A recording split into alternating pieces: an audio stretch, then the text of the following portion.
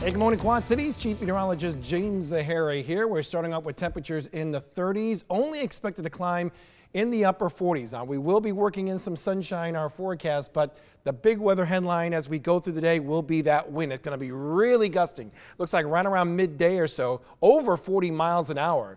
So it's going to make it feel more like in the 30s all day. So grab that jacket come today. Fortunately, though, winds will ease up as we head into this evening, setting the tone for another rather, warm Sunday. and That's a nice change. 65 for the daytime high. The trend continues up and down and up and down with those daytime highs uh, as we go into next week with our next chance of organized wet weather sometime on Wednesday.